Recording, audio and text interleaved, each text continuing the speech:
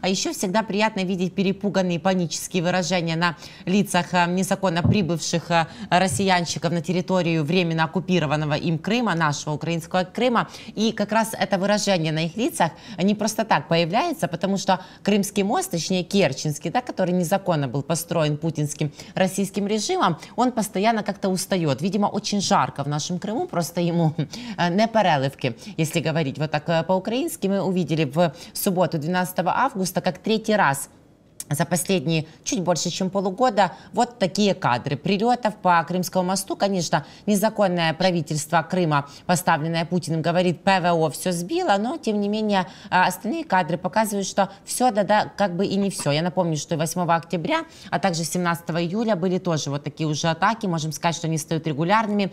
А, они говорят, дымовая завеса. Но, Юрий, что бы там ни было, какую картину, картину какого конца в лицах западных партнеров, в лицах Соединенных Штатов Америки, Америки, да и восточных скажем так, товарищи, возможно, Путина, создают вот такие кадры, понимание того, что Путин не может защитить даже такую, как он раньше называл, такой сакральный свой объект. Мне кажется, что с точки зрения как бы смотреть на это снаружи, то, знаете, как в театре, перед тем, как начинается действие, в начале свет как бы вам напоминает, что вот сейчас пора садиться, пора... Сейчас, сейчас займемся делом. И э, вот эти все удары по Крымскому мосту, как Керченскому мосту, по... это напоминание тем, кто находится в Крыму, срочно уезжать оттуда. Потому что ситуация накаляется. Теперь я думаю, что Россия может, я не знаю, с тем же успехом успехом рекламировать э, каникулы в Крыму. Посмотрите на новейшие атаки на мост и как мы прекрасно... Но это бред какой-то. Это 1984 э, год, если смотреть снаружи. Потому что идет какая-то безумная война, непонятно э, с кем. И этим людям они даже не понимают, что у них происходит, потому что им сказали, что можно ехать и нужно ехать. И они поехали, несмотря на то, что там не только там, я не знаю, квартиры нет или места остановиться, там, как было в Советском Союзе, а просто идет война why not? и они вот все равно так тра-ля-ля-ля-ля-ля-ля-ля. Mm-hmm. Это очень странно наблюдать э, снаружи. А Естественно, понимаешь, что идет полная нормализация атак на Россию, и пока что вот эта эскалация, которую в начале и до какого-то времени Запад определенно как бы рассматривал как опасную возможность, а, риск этого все падает и падает.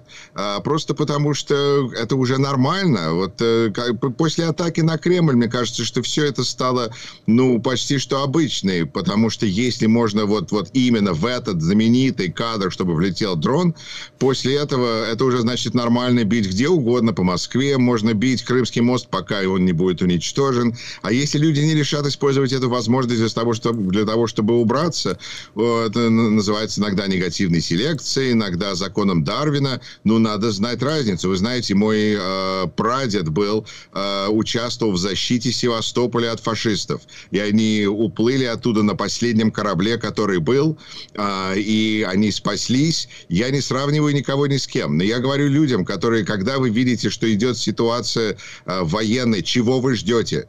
Uh-huh. Мне кажется, что Крым сейчас будет не тем местом, в котором можно сейчас отдыхать на, на пляже. И это я передаю, просто транслирую, особенно потому, что мы говорим по-русски, и, и это кто-то может услышать. Сейчас не время. Господа мои господа, ну что это не политический вопрос, это вопрос просто конкретного выживания. Да, телевизор может вам рассказывать все, что телевизору угодно, но это ваша жизнь. Зачем вам ее таким образом ставить, э, ну, под, ну абсолютно ненужную угрозу? Ну да, действительно. Но они там говорят, мамулечка, бежим, вот вспоминается вот то еще осеннее, надо э, сваливать или вот Пусть как было. Бегут, да, рус, да. Русские бегут, это хорошая тенденция, это хороший тренд. А, но, тем не менее, когда, например, прилетают тоже уже завидной регулярностью, знаете, Юрий, это даже нас не удивляет, это так просто утром просыпаешься думаешь, да, еще один, еще один дрон над Москвой, еще один дрон над Калужской областью, еще один дрон над Шебекино, летит это все тоже, пусть еще не так массово, но летит, да, но, тем не менее, там они вот говорят э, в самой России, что если не смотреть вверх, как вот в знаменитом фильме, да, то, в принципе, пусть летит, он же нас не трогает. Они не понимают, что еще чуть-чуть и тронет. Видимо, не до конца, потому что, с одной стороны, ну, мы слышим, скажем так, разносторонние репортажи, и, и, видимо, до людей это недостаточно доходит, но, с другой стороны, мне кажется, что ситуация достаточно быстро меняется, и я надеюсь, что там происходят какие-то перемены, когда люди все-таки видят, что э, может быть бомбежка где угодно. Понимаете, с одной стороны, э, героический народ э, Украины привык к тому, что идет война, и, и люди по-разному реагируют реагируют а, на опасность. А, с другой стороны, арабский народ России, который застрял в ситуации, из которой у них нет выбора, и, как я помню, была цитата, кажется, Путина, а, что первые два года будет тяжело, а потом вы привыкнете. А, и вот это, вот, ну сколько эти терпилы, эти рабы в состоянии терпеть перед тем, как они решат, что лучше устроить бунт, смуту, революцию, чего угодно, чем лезть дальше в эту мясорубку. В какой-то момент, а, например, арабская весна, там был продавец фруктов, который сжег себя, и после этого началось. А, что, что может, должно произойти в России? Я знаю, например, а, Юрий Фиштинский, очень уважаемый человек, говорит, считает, что если будут атаки по Москве, то это произведет э, э, впечатление. Я, честно говоря, даже в это до конца не верю. Потому что мне кажется, что в рабской стране бить по, раб, по рабам, это, а, ну, какой-то может и иметь эффект, потому что владелец этой плантации все равно равно, ну, потерял рабов на, ну, все рабы его. А, поэтому это не так важно. Поэтому, в конце концов, э, ситуация, мы как бы поднимаемся, эскалация все-таки происходит, потому что нужно войну заканчивать. На Западе очень хотят, чтобы эта война закончилась, победой Украины и поскорее.